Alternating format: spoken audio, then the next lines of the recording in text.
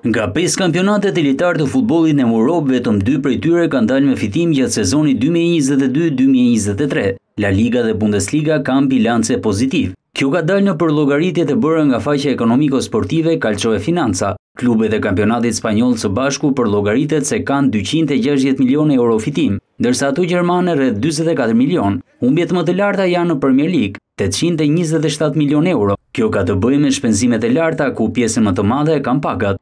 A ka një minus prej 421 milion, dërsa Liga Franceze 273 milion. Klubet e Europian duhet të tregohen të kujdeshëm e bilancet, pasi shkelje e regullave të fair playt financiar, ka siel vazhdimisht penalizime nga UEFA,